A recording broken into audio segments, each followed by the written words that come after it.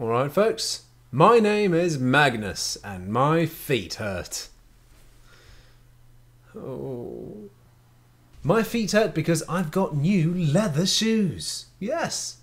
Leather shoes are like that, they have to be broken in. So while these shoes will give me blisters for the first few days, eventually they'll become like a second skin. Like these are my old shoes. They were kind of painful to begin with, but now they're delicious. I guess you could say that a leather shoe is like a hunter's pet in World of Warcraft. You have to battle them into submission, but then you have a friend for life. They say dogs are man's best friend. Fuck dogs. Leather shoes and raptors. Yeah. Speaking of dogs, Man Bites Dog is a film that I will be reviewing today. Segue.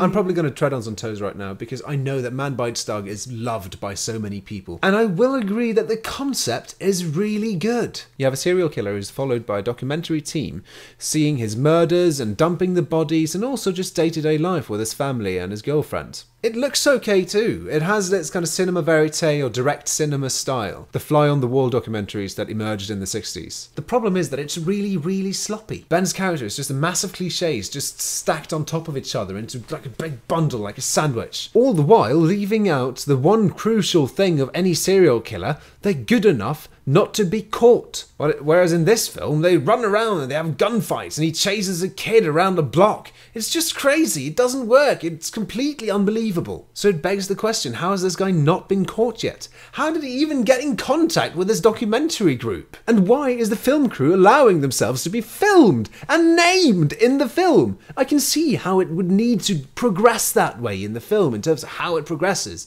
but it doesn't make any sense of them not to react to being filmed in the beginning. And actually, how did Ben volunteered to do this anyway? You can create a character that has a need to show himself off and show off his work, and they've done this before in film, but the thing is, Ben's character isn't like that. He goes on and on about not wanting to make waves. Also, as far as I understand it, people find the bursts of violence kind of funny or cool or whatever. I just don't get that. To me, the violent scenes are just uncomfortable to watch, and I don't get the funny part though I'm not the best person to be talking about violence in films because I am a bit of a sissy. I don't know if you've seen Gamer with Gerard Butler. I actually thought that the violence in Gamer was meant to show the brutality of video game violence if it had been brought into real life, while other people find it more hilarious and awesome. Anyway, Man Bites Dog.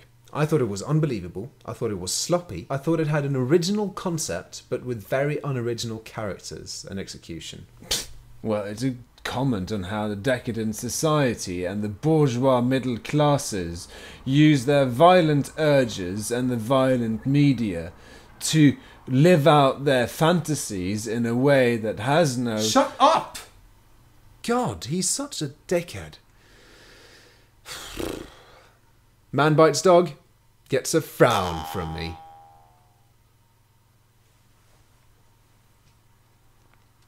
If only it had been more like this.